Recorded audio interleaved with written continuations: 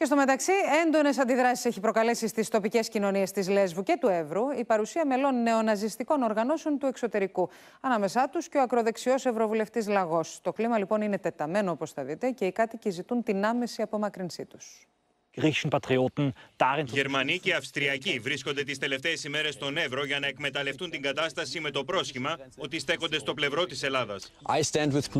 Συνθημά τους ποτέ ξανά 2015, αλλά είναι γνωστοί ακροδεξιοί στις χώρες τους και ο στόχος τους δεν είναι άλλος από το να μείνει απρόσβλητη από ένα νέο μεταναστευτικό κύμα η κεντρική Ευρώπη. Und wieder, wie diese verlogenen Journalisten mit gestellten Bildern, mit emotionaler Kriegsführung versucht haben, den Verteidigungswillen Europas zu brechen. Με το γνωστό πρόσωπο του φασισμού αλλοιώνουν κάθε έννοια αλληλεγγύη και απευθύνουν κάλεσμα συμπαράσταση στου Έλληνε πατριώτε για να φυλάξουν τα σύνορα τη Ευρώπη.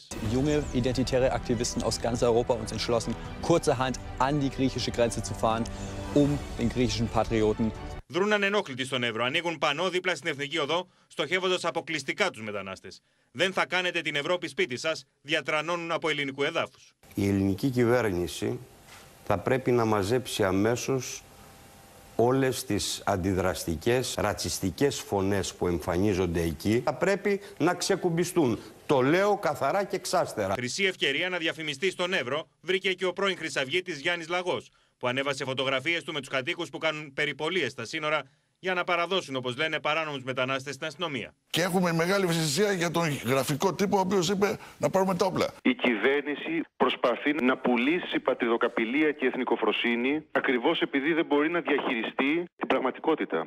Στη Λέσβο, γνωστοί νεοναζί από τη Γερμανία δέχτηκαν επίθεση από αντιφασίστες ενώ έπιναν καφέ στο κέντρο της Μυτιλίνης. Μετά το χτύπημα στο κεφάλι, ο γνωστός Γερμανός ακροδεξιός Μίλλερ απέθυνε κάλεσμα στους Έλληνες ομοειδεάτε του να πιάσουν τα ποντίκια και τους εχθρούς της Ευρώπης, όπως τους αποκαλούν.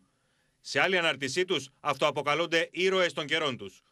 Τις τελευταίες μέρες, όλες αυτές οι δράσεις επιχειρείται να μπουν κάτω από την ομπρέλα ενός αυτοαποκαλούμενου κινήματος της ταυτότητας.